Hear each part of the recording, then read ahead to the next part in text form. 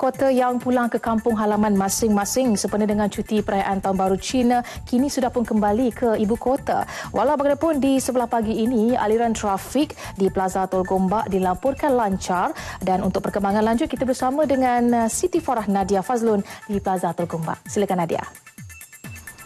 Terima kasih Zera di Angkasa Puri. Saya kini berada betul-betul di hadapan Plaza Tol Gombak. Apa yang dapat saya bawakan gambaran awal pada ketika ini, aliran trafik di sini masih bergerak lancar dan terkawal.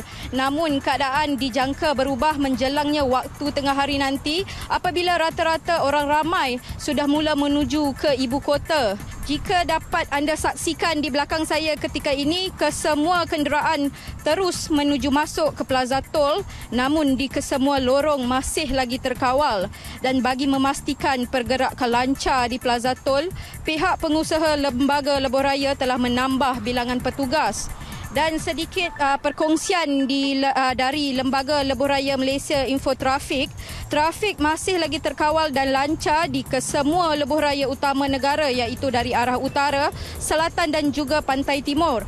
Bagi mengurangkan kesesakan, pengguna juga dinasihatkan agar merancang perjalanan dan juga waktu yang dicadangkan oleh pihak pengurusan lebuh raya. Difahamkan setakat ini tiada insiden kemalangan yang berlaku kepada anda yang ingin memulakan perjalanan sebentar saja lagi diingatkan untuk sentiasa berhati-hati dan jangan lupa untuk isi semula kad touch and go anda bagi memastikan perjalanan anda sampai dengan lancar dan selamat. Saya kira setakat itu saja laporan uh, terkini dari Plaza Tol Gombak. Kita kembali kepada Zera di Angkasa Puri. Silakan.